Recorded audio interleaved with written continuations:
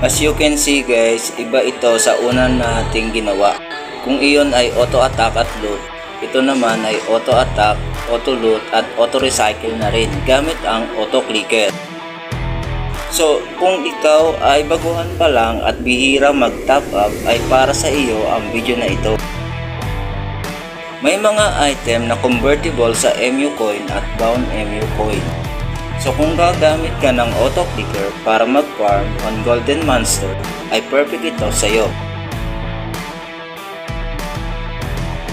Kung nagustuhan mo ang video na ito ay mag-subscribe ka lang at mag-like sa ating mga video para ma-notify kita sa susunod kong video.